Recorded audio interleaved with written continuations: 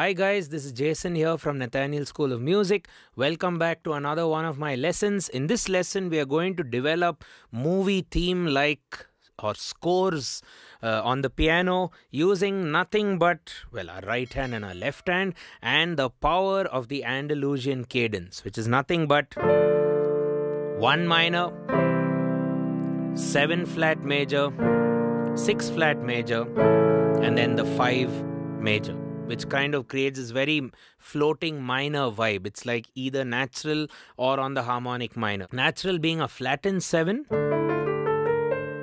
and harmonic being a raised or a major 7th. So the movie themes which I am giving for you are not actual uh, melodic themes. They are more ideas which will have a melody, of course, but you can develop those ideas, and I would want you to make them your own. And uh, what's very important is that you communicate that with me, practice it, record it, and I'll be happy to hear it if you send it and tag me on uh, maybe one of our Instagram accounts, which is either Jason Zac, which is mine, or Nathaniel School, which is the school's. And uh, we will access that, and it'll be great to hear from you. Right right, so I have two movie theme ideas for you. The first one basically involves the scattering of directions of notes. So the the left hand is going to move in one direction and the right hand is going to move in the other direction. It's as simple as that. So tell yourself left hand goes down the Andalusian cadence and the right hand goes up and they both follow the scale. So the left hand is going to go the roots of each of the chords D, C, B flat, A, and the right hand will start with D. And then when the left hand goes C, the right hand goes up. Where should it go? Not E flat, it goes to E because we are part of the scale. So D, E, and the left hand goes C. So D, E with C, and then B flat because they're climbing higher there. The left hand goes down to B flat then you end with a G and you end here with an A. So without me talking too much,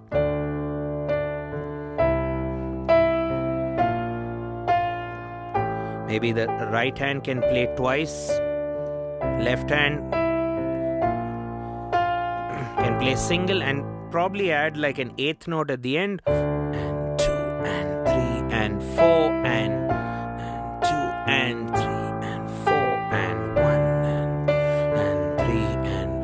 because it's a movie theme, we have to make it more epic.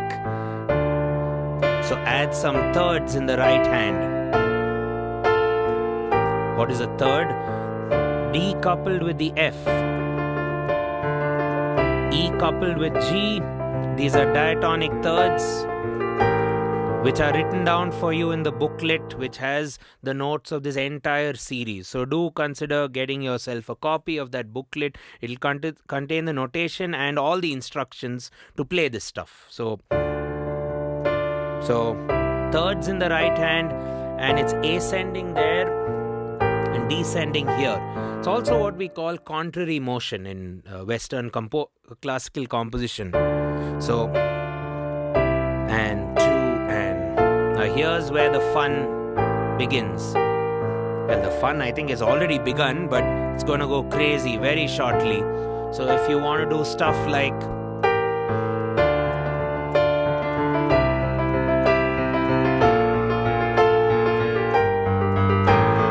that.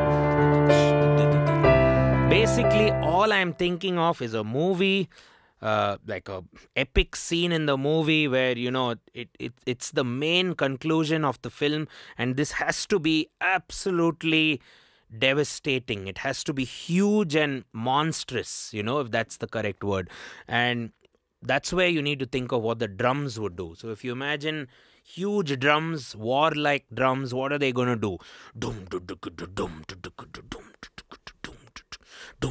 right? And in like a huge room and you have 20 of these instruments. So how do you simulate that on the keyboard? Well you try and do something like this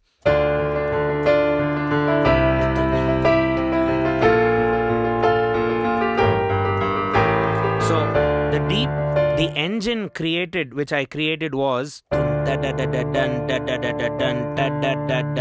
So how did I get da da da da? I'm just using my two thumbs. That's all I can do. I'm not playing a huge drum at the moment. So. And look at this. Keep the pinky to to always do the pulse. So.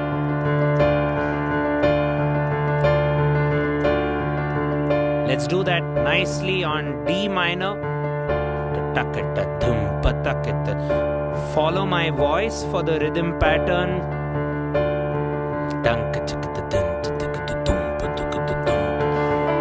Climbing, climbing, and dropping here in contrary motion.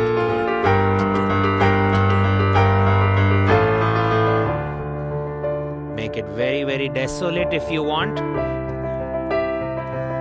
Right?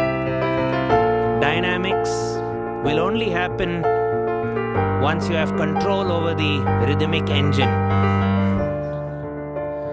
Also, explore different places to play it and milk the theme.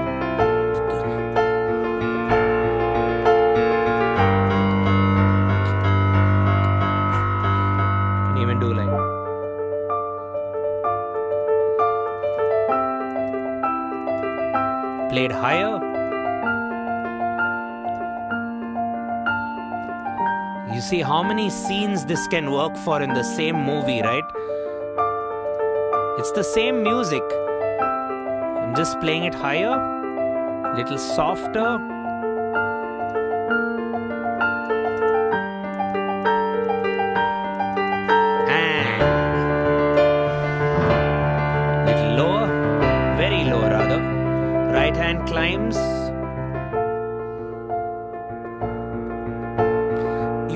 Consider this like a polyrhythm instead of going dun da da da da. That's one way of visualizing it. A lot of my students get it like that, where I say dun da da da dun da da da dun da da da da and look at my uh, pinkies of the two hands. They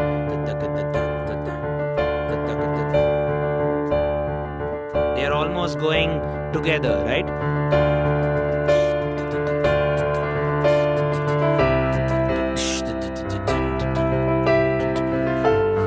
Trying my best to emulate the drums. Obviously, we can't, but this is giving you as much epicness as I possibly can. And then it's for you to take it to town or, you know, compose it around, you know, an entire orchestral arrangement.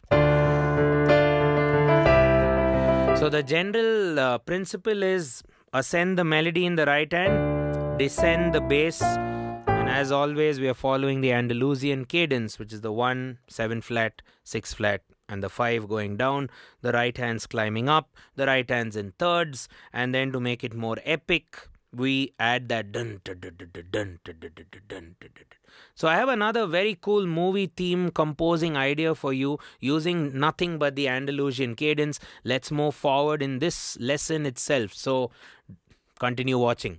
So with this movie theme like idea, again the same story happens in the left. You do D, C, B flat, A, Andalusian. I hope you're not bored with the cadence by now. I'm not.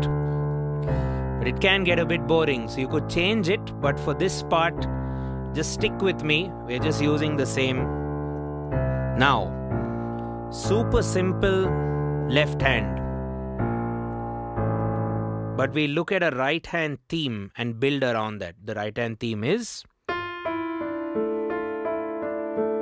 just that.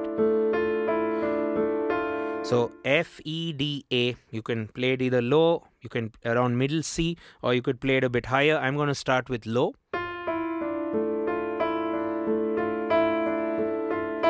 You see, I'm slamming the E a bit louder, so I'm implying that E is my downbeat or 1.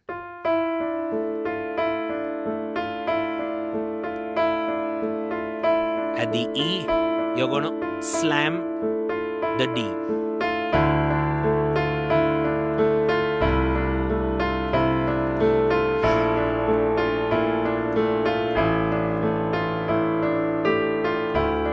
Now check this out. In my left hand, I'm trying to do root and my octave and toggling the guys together.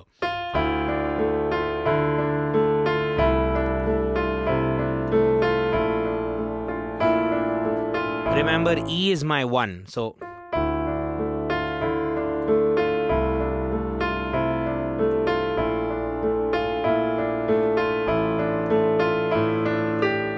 you don't want to play A all the time, if that's getting monotonous, you could do a F, E, D, G. So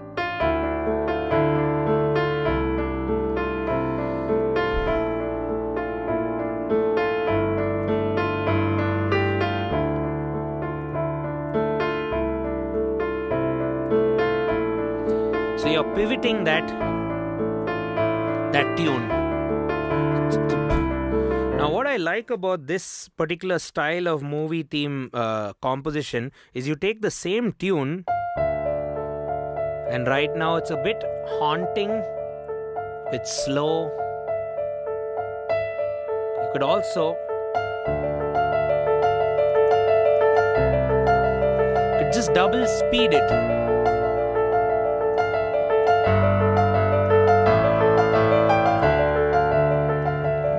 Makes it more chaotic, right? All the things you need in a movie.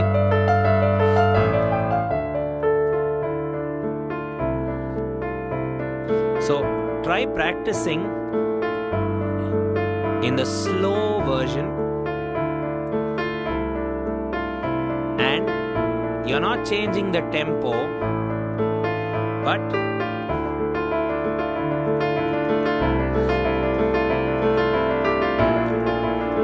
speed of the right hand.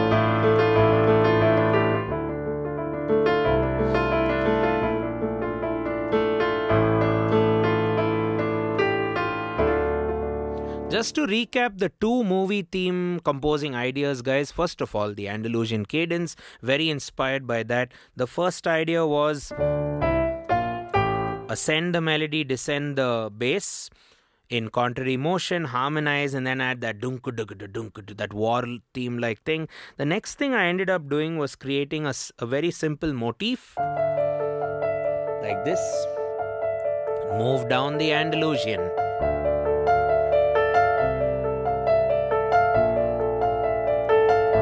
Speed it up.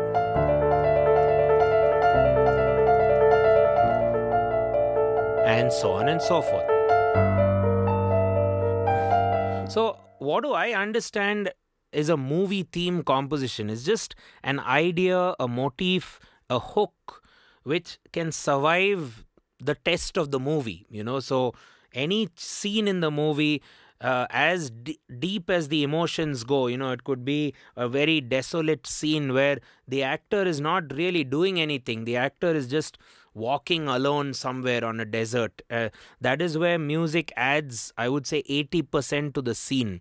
The visuals may just not not be that impactful you're just going to look at something rather static that is where you need to really bring out the life so movie themes are about that. You try to create one idea which recurs over and over which can be played in different intensities with different dynamics which you can then pick and choose and use for different segments or themes in the movie. Of course after consulting your director whoever you're working with or the visuals which are uh, part of the script of course Again, guys, this is Jason here from Nathaniel. Thanks a ton for being part of this series. Your support means a lot to our channel, and uh, thanks for all your requests which you're uh, putting in for us to create these lessons. And uh, do consider heading over to Patreon, that'll give you the scores and the notes for this entire series. Jason from Nathaniel, cheers. Thanks for watching.